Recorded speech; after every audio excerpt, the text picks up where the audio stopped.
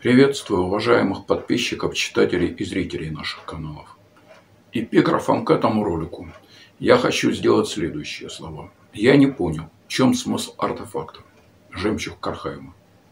Напоминаю, этот отзыв – часть моей новой публицистической книги. Были ли Владислав Крапивин и Михаил Ахманов членами Тайного общества «Диск». Она сборник моих отзывов на книги указанных писателей с учетом их возможной конспирологической составляющей. Предыдущий отзыв будет на конечной заставке. Вот как выглядит обложка книги. Повесть «Жемчуг Кархайма» должен сказать меня несколько озадачил, хотя читал ее уже и второй раз. Но первый раз я ее читал для развлечения, а вот второй раз на предмет поиска конспирологической составляющей. И вопросов она оставила больше, чем ответов. Прежде всего, меня заинтересовал вопрос кто автор. И он оказался более чем непростым. Мне пришлось много порыться в интернете, пока я нашел на него ответ. Авторы, понятно, российские, что, впрочем, ясно из года написания. Но вот зачем здесь наведена такая тень на плетень, я тоже не понял и близко. Повторяю, даже кто автор этого произведения, я выяснил с очень большим трудом. Вот как выглядит одна из обложек книги. Наверное, также нужно добавить, что эта повесть открывает третий том Блейдианы. Ричард Блейд – победитель. Если говорить о хронологии, то действие повести происходит в 1971 году. И формально это седьмое путешествие Ричарда в параллельный мир. Если добавить четыре новеллы, отзывы на которые я тоже уже дал, то получается это двенадцатое произведение в Ричарде. Самое же главное, как я уже сказал, я так и не понял, зачем целому коллективу авторов, а здесь коллектив авторов, понадобился этот самый артефакт – жемчуг Кархайма. Я в упор не вижу, что он позволил раскрыть. Вся надежда, что что-то станет яснее по мере дальнейшего чтения цикла. Хотя, честно говоря, я в это почему-то не верю. Сюжет следующий. На этот раз Ричарда заносит, скажем так, в пиратский мир. Технологически этот мир стоит где-то на уровне развития Земли в XVIII веке. Но географически он очень отличается от нашей планеты. Материки, или как там говорят земли, на нем собраны, как говорится, до кучи, в один материк. Но это не что-то вроде древней Гондваны. Здесь все куда сложнее. Материк представляет из себя что-то вроде гигантского атолла, внутри которого что-то вроде, скажем так, гигантской лагуны. Его называют это море, а точнее океан, поскольку это море огромное. Море среди земель. Но и есть, собственно, название этого океана. Они называют его жители этого мира Акрот. океан же остальной, что омывает, что, собственно, вот эти земли, и что, собственно, Акрот, называют Достар или Свергающее кольцо. Через указанный, скажем так, атолл, тем не менее, проходит, понятно, еще и пролив который тоже практически, да, копирует пролив в лагуне, но только понятно, он опять же куда больше пролива в обычной лагуне. И именно этот пролив нас интересует в данном произведении особо. Его называют Кархаем.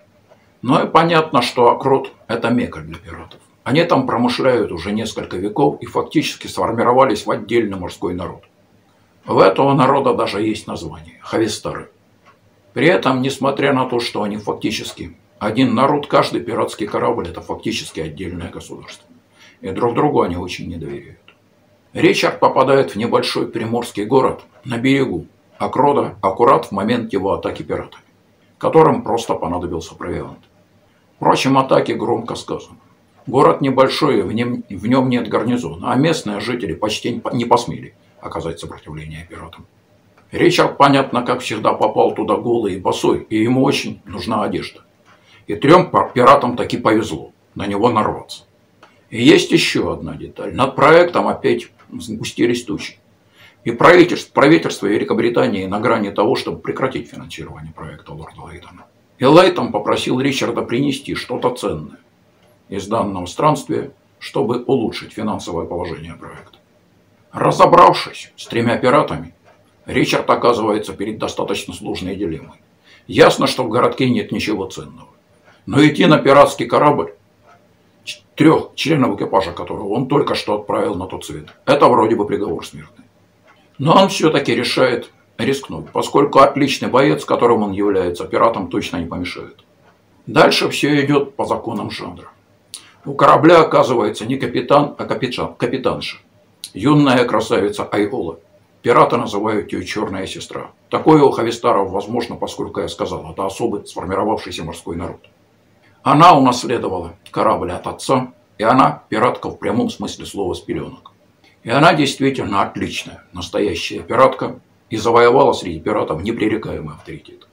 И Ричард ей, понятно, сразу глянулся, и она, поскольку привыкла, что ее воля исполняется беспрекословно, сразу без проволочек делает его своим любовником. Что, понятно, кое-кому очень не нравится, но и дальше опять, как я сказал, все развивается по законам жанра.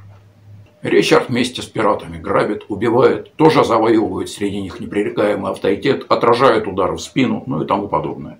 Самое же главное, он ищет, что есть в этом мире ценного, что может представлять не меньшую ценность в Англии 20 века. И выясняется, что главная ценность в этом мире жемчуг. И самый ценный жемчуг добывают в указанном проливе. Кархайме. Там огромные жемчужные отмери, на которых раковин жемчужниц выращивают уже много веков. И это дало возможность фактически искусственно создать невероятно красивые жемчуга. Как обычные, так и цветные. Красные, розовые, синие, черные и тому подобное. И понятно, на Земле этот жемчуг тоже будет стоить колоссальных денег. То есть даже небольшой мешочек такого жемчуга на нашей Земле будет огромным состоянием поскольку такой жемчуг будет куда дороже алмаза. У нас на Земле просто нет жемчуга настолько высокого качества. Ну и понятно, шанс поддержать финансовый проект здесь просматривается очень четко. Но даже этот жемчуг не главная ценность Кархаема. Указанный пролив, или как его там еще называют, узкое море полностью контролируется герцогством Кархаема. Небольшим, но немыслимо богатым государством. И богатство ему, понятно, дал жемчуг. Но есть одно «но». В Кархайме, кроме вот этого жемчуга, есть еще и некий другой, скажем так, жемчуг. Его называют зеленый жемчуг. И об этом зеленом жемчуге ходят невероятные легенды. В частности, он дает власть, неуязвимость, бессмертие и многое другое. Вернее, якобы дает. И одна такая жемчужина стоит, похоже, всей сезонной добычи жемчуга Кархайма. И прежде всего именно этот зеленый жемчуг дал несметное богатство Кархаему. Понятно, Кархаем великолепно укреплен, и пираты даже не смеют и мечтать его атаковать. Они предпочитают грабить идущие с ним корабли. Но зеленый жемчуг везут только корабли Кархаема. А это самые быстроходные корабли в этом мире. Такое богатое герцогство, понятно, может себе позволить иметь такие корабли. Но Ричард понимает, что атака герцогства возможна, если пиратов удастся объединить. Повторяю, в их среде и близко нет доверия друг другу. Но народ Хавистаров – это, тем не менее, колоссальнейшая сила. Возможно, самая колоссальнейшая сила на этой планете. Причем военная сила. И Ричард берется за это невозможное дело. Не буду говорить о том, чем это закончилось, чтобы не раскрывать сюжет. Но Ричарду также удается выяснить, что такое зеленый жемчуг. Выясняет, что это не жемчуг. Более того, это далеко не жемчуг. Хотя он тоже имеет органическое происхождение. Ну и понятно, да, он действительно, этот артефакт внешне похож на жемчуг. Но раковины жемчужницы тут совершенно ни при чем. Этот жемчуг получают в прямом смысле слова чудовищным путем. И у него действительно есть очень необычное свойство. Тот, кто имеет такую жемчужину, действительно живет очень долго, живет больше ста лет. И при этом живет активной жизнью. Но нужно знать, как правильно этим жемчугом пользоваться. Если его использовать неправильно, то последствия тоже, опять в прямом смысле слова, чудовищны.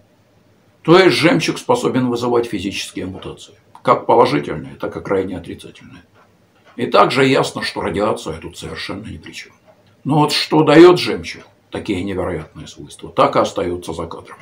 Равно как остается за кадром, зачем этот жемчуг вообще автором данной повести упал, как говорится. Если у кого здесь есть какие-то мысли, пожалуйста, поделитесь. Они могут помочь мне в дальнейшей работе. Если понравился ролик, ставьте лайки, подписывайтесь на канал, делитесь роликом в социальных сетях и на других ресурсах, пишите комментарии, смотрите мои аналогичные ролики. Какие именно вы видите в подсказке и на конечных заставках.